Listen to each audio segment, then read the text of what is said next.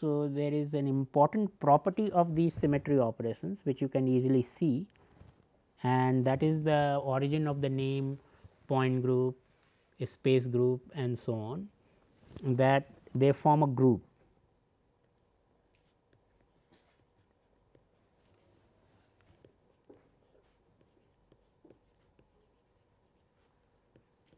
Symmetry operations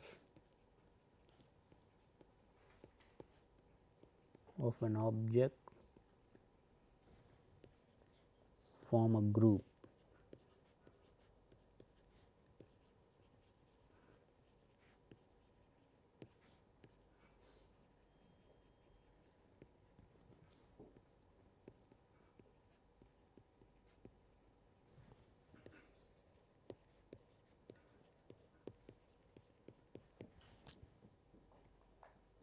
So, they always occur in groups, they do not occur separately. So, what exactly is a group? So, group is a mathematical concept. So, we will define that.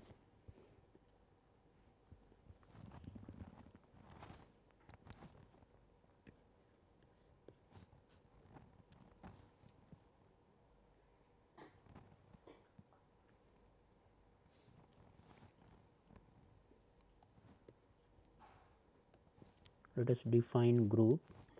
So, a set you for a group you need a set a set of element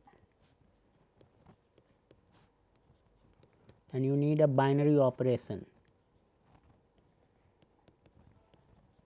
means a way of combining two elements.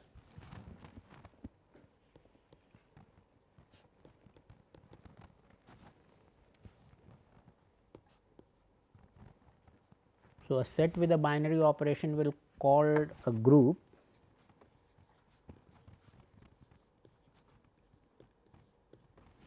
if it satisfies certain conditions and what are those conditions?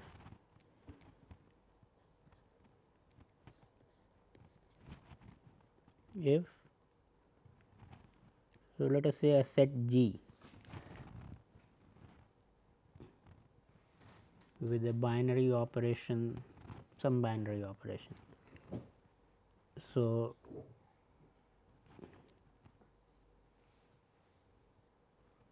so first first property which a group should satisfy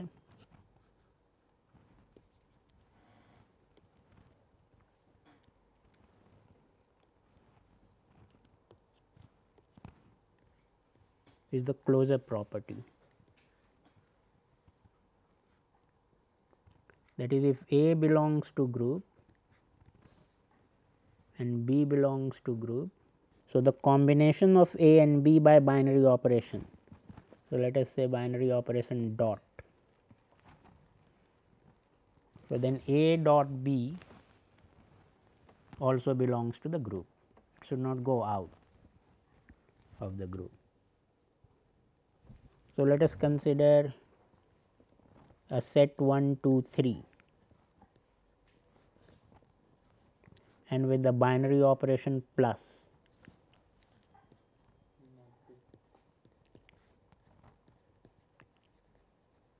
Is it closed? It is not closed. 2 plus 3 is equal to 5 and it does not belong to does not belong to the set. So, this is not a closed set under the binary operation of addition. So, if we want to have a closed set under binary operation of addition, what will I have to do? So, that is the entire natural entire natural numbers we will have to take, then only it will become closed. No? Identity? No, I am only looking at the property closure at the moment. So, it is closed under plus. The second property is associative.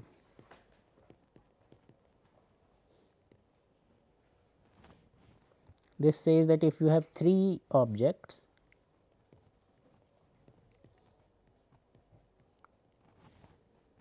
then does not matter and you are combining these three objects. So, since you have a binary operation and you have to combine three you do not have a ternary operation.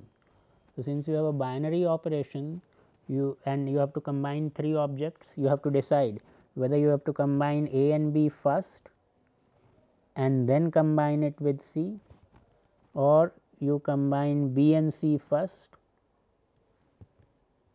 and then combine it with A and it should not matter if it is associative it is demanding that it should not matter.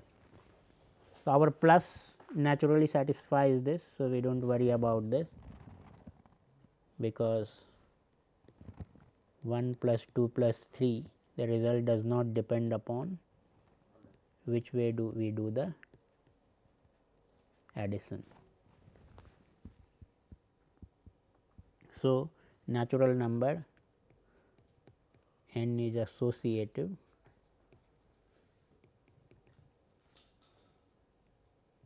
with respect to plus.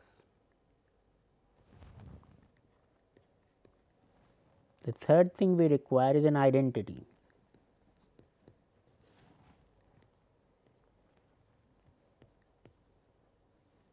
There should be an special element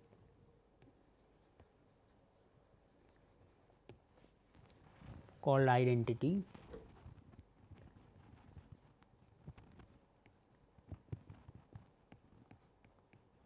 Now, identity is represented by various symbols often either by 1 or by E because the normal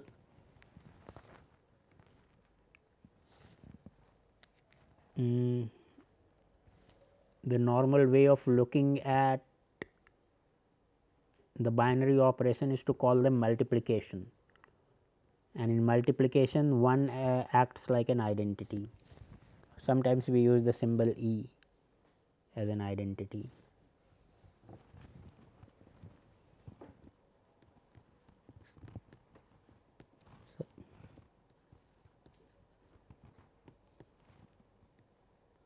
So, what is identity? A E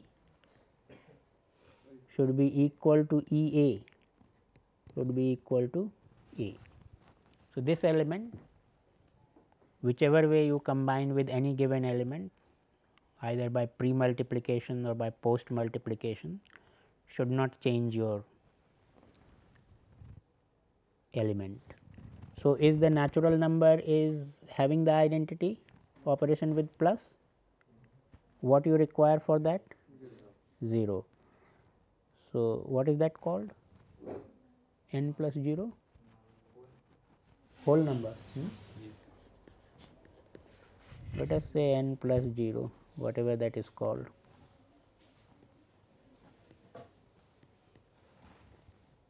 So, this will have 0, 1, 2 and everything up to infinity. So, 0 is identity with respect to the binary operation plus.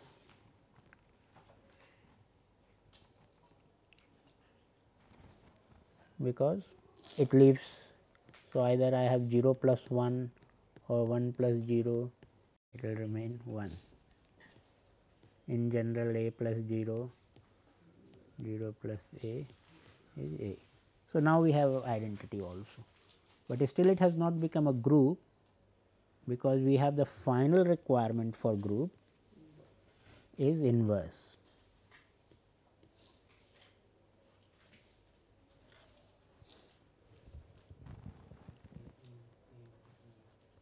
So, what is inverse?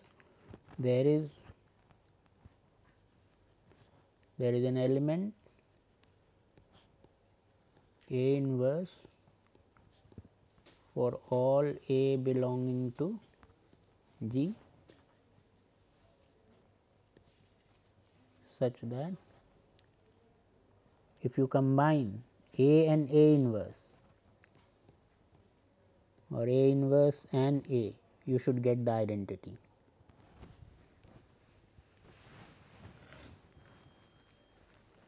So, what is inverse with respect to addition? Negative number.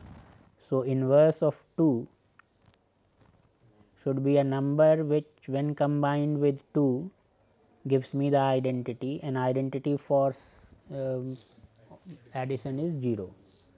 So, 2 plus 2 minus 2 is 0, but we have not included that we have not included the negative integers. So, I now have to add the negative numbers also. So, I will get the set of integers if I want a group.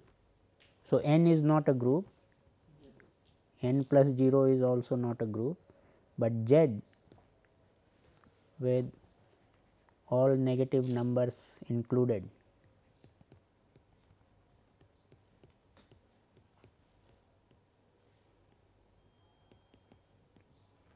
now it forms a group. So, we will say integers set of integers is a group under plus n with 0 also is not a group. because inverses are missing other three properties were there inverses missing. So, what has all this to do with symmetry? So, if you now look at symmetry, symmetry also what will be a binary operation for symmetry? So, symmetry is an operation, symmetry itself is an operation.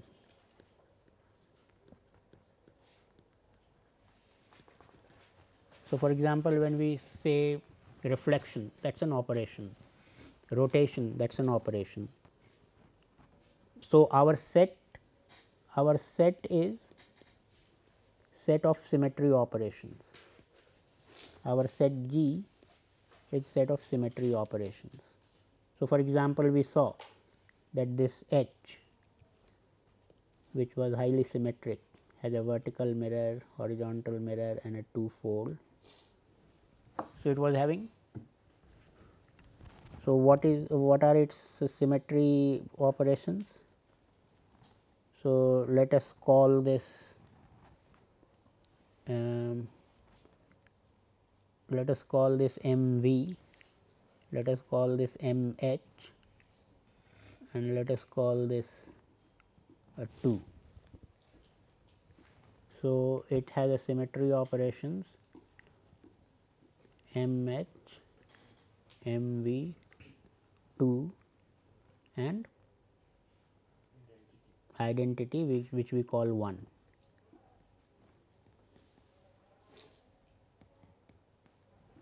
But the, the symmetry operations are itself elements now, they are elements of the set. So, elements of the set are operations, but for group we require a binary operation so, we require uh, another operation which combines these two elements or any two elements in this. What will that operation be? 2 times, one after the another. So, followed by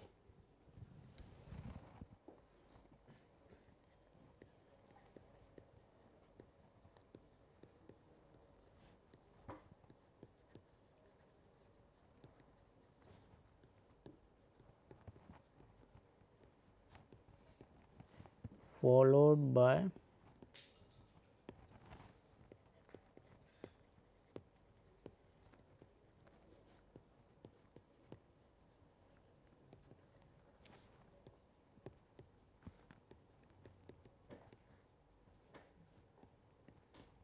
I can combine. When I say I will combine two operation, so I will say one operation followed by another operation combine a horizontal mirror with a vertical mirror. So, first reflect horizontally, then reflect vertically. So, with this definition now that I collect all the symmetry operations of an object and I combine them by the operation of followed by, does it form a group? So, let us explore that.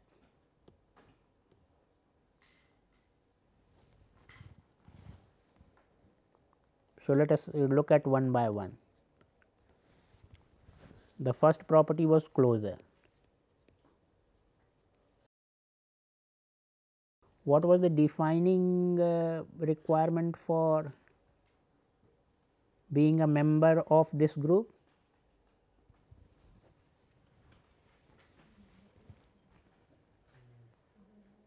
What operations we collected in this group? No, combination why is MH qualified to be part of this group? Because MH left H unchanged. Hmm? So, if MH leaves H unchanged and MV leaves H unchanged, so a combined operation of MH followed by MV obviously will leave it unchanged and if that is also leaving it unchanged, so that should also be a part of the group. So, means uh, in my list of symmetry elements or symmetry operations of H, I cannot miss combination of MH and MV, because MH is leaving H unchanged, MV is leaving H unchanged. So, how cannot MH followed by MV be not part of that set? That is also leaving it unchanged. So, that also should be a symmetry operation, but I have not written MH combined MV. So, closure is demanded that if A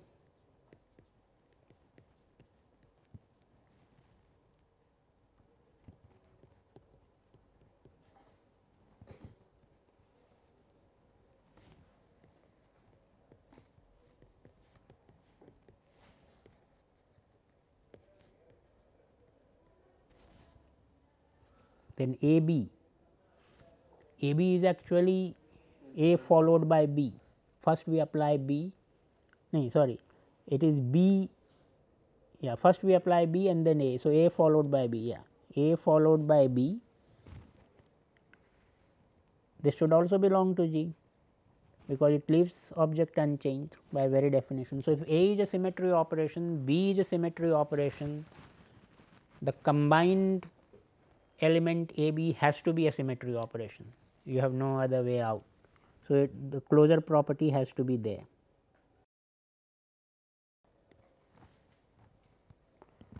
Associativity we have to check, but usually it is always satisfied. So, in this case again what can happen? You nothing else can happen, they have to be the same. A B leaves it unchanged and then you combine it with C that also leaves unchanged. So, the net result of the left hand side A B applied first and then C is leaving the object unchanged. The right hand side also leaves the object unchanged because C leaves it unchanged you combine it with B that also leaves it unchanged and then you combine it with A that also leaves it unchanged. So, obviously, the two are equal by very definition of symmetry.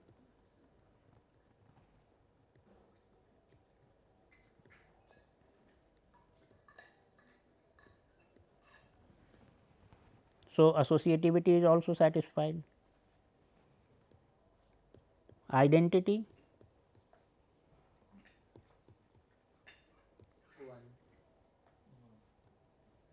doing nothing leaves it unchanged and we have called it 1. So, identity is also there and if you apply some symmetry operation, if I apply horizontal mirror and then do nothing, what is the resultant? Horizontal mirror. So, the doing nothing does qualify as an identity operation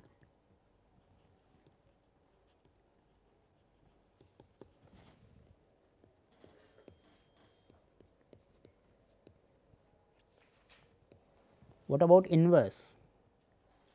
So, if I apply a horizontal mirror, I reflect and then I reflect again.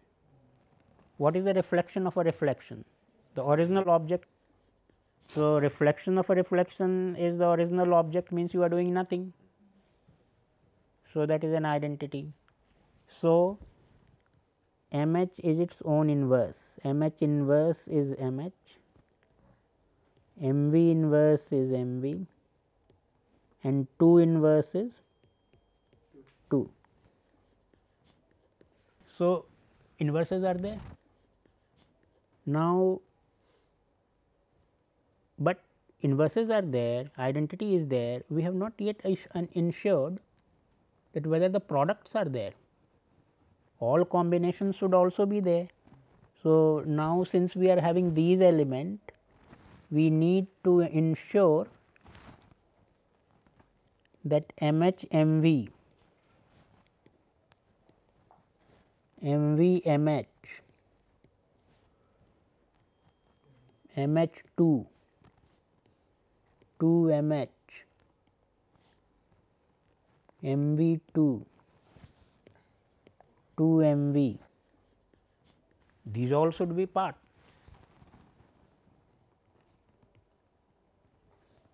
because they are also symmetry operation they are also leaving the object unchanged.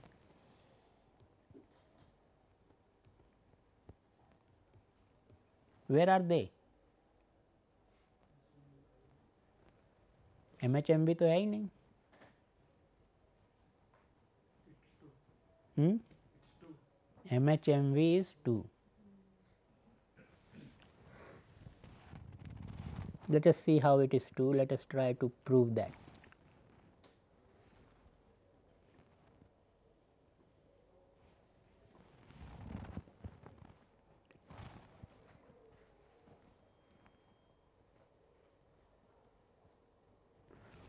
Let us say we have an object and we have a two mirrors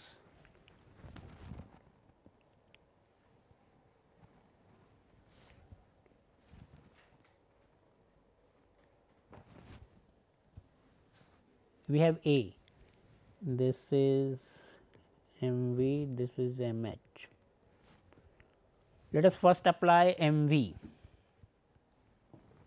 So, we are doing this operation first MV and then MH. So, first we apply MV. So, we reflect in the vertical mirror. I generate the point B. Now, actually although it is a point, we have to keep in mind that reflection changes the so called chirality that is handedness. Reflection will change a left handed coordinate system to a right handed coordinate system. In point it is not obvious, but suppose what will happen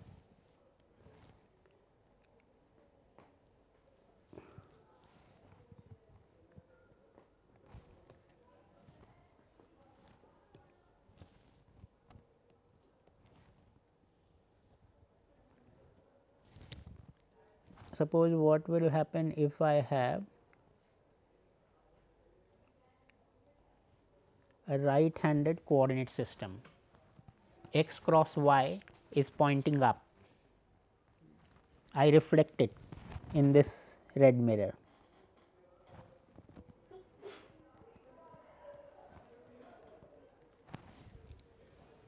X prime cross y prime pointing down so, if we call this a right handed coordinate system or a right handed object, this is a left handed object.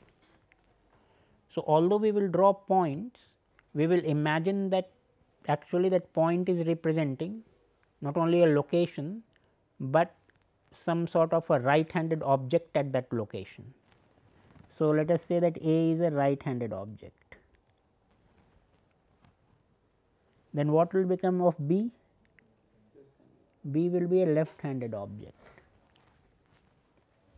Now, I apply another operation because I have to apply MV followed by. So, I come here. Now, if a left handed object is reflected then you get uh, again a right handed object. So, I get C which is again a right handed object. So, the net result of m v followed by m h is A going to C directly.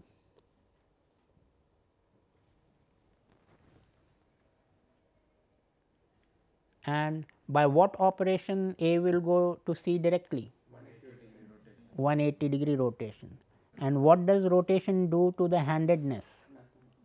It does not change. So, a right handed object going 180 degree opposite with the same distance that you can prove geometrically that this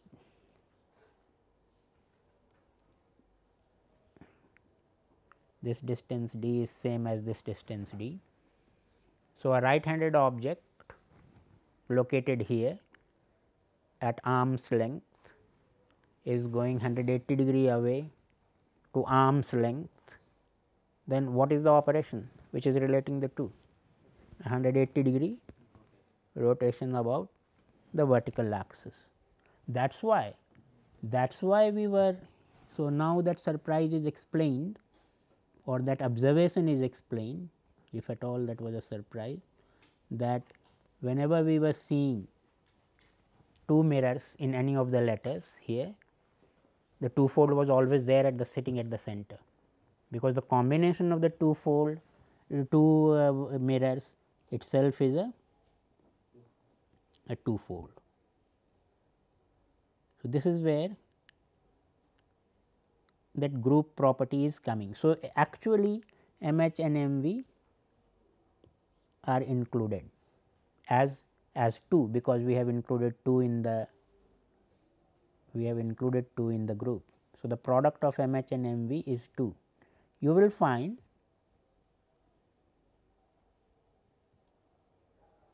that MV MH is also 2. What will be MH 2? MH 2 will be MV. Remember MH 2 cannot be 2. Why? Because using MH you have changed the hand. Yeah. Using MH you are changing handedness, using 2 you are not changing the handedness. So, the net result is a change of handedness and a change of handedness cannot come from 2. So, MH and 2 will give you MV. So, everything is consistent. So, we get a nice group. So, th that is the reason why we use the word group of symmetry, symmetry group. So, symmetry operations of an object forms a group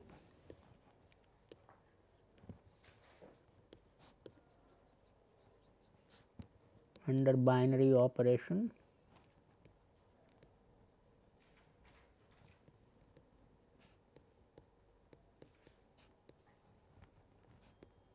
Followed by and we have seen that one concrete example we have seen we just finished the lecture with the what is called a group multiplication table.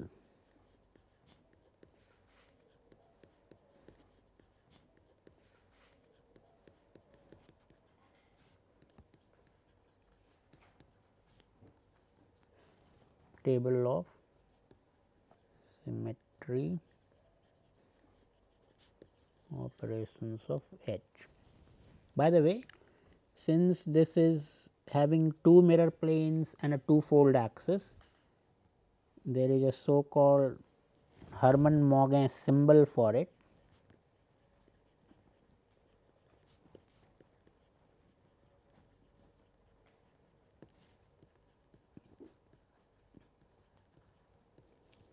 which is called MM2.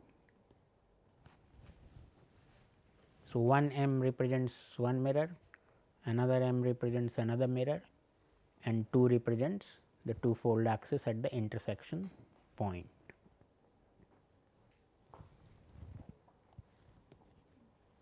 So, let us create a group multiplication table for this.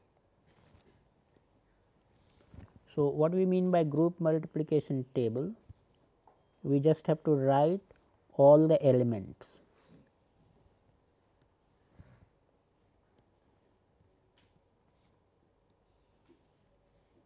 Both horizontally and vertically.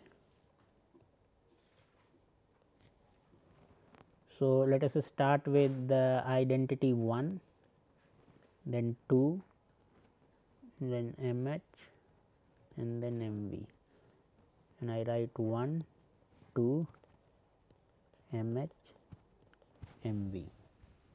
All you have to do is to in any any box now I will fill the row the column element multiplied by the row element. So, 1 into 1 is 1 thankfully, 1 into 2 identity being combined with any operation. So, we will leave it unchanged. So, that row is easy for us to write. Similarly, if I if I do 2 into 1, so that will remain 2. So, the column also is easy to write the first column. Now, the other this 3 by 3 9 elements you have to be careful. So, 2 into 2 gives you what 1 2 into 2 1 2 into mh mv 2 into mv mh mh into 2 mv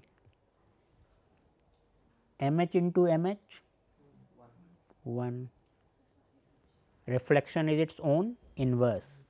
This is a strange group interesting group where each element is a self inverse do not think that this is a common property that elements are their inverses. If you are seeing only this group we may conclude that, but this will not be true as we will look at other groups. So, in this case each element is its own self inverse m h into m v 2 m v into 2 m h m v into m h 2. So, you can see a beautiful table has been formed which is justifying your group property. First of all uh, that you did not get in this table means uh, we, we made a header of rows of all the elements and a header of columns uh, of all the elements and we are multiplying. On multiplication we did not generate any new element other than the top 4 which we had written. So, that is closure. For every row we are seeing and we are seeing that the row of 1 is leaving everything unchanged. So, that is the identity. Similarly, column of 1 is leaving everything unchanged. So, identity is there. Then we are seeing that in every row 1 appears once. So, and that is the inverse of that particular element. So, every element has an inverse. This kind of group multiplication table that way shows you the group structure also clearly and ensures you that the object is a group and you are not getting anything means it is not that the closure property is not satisfied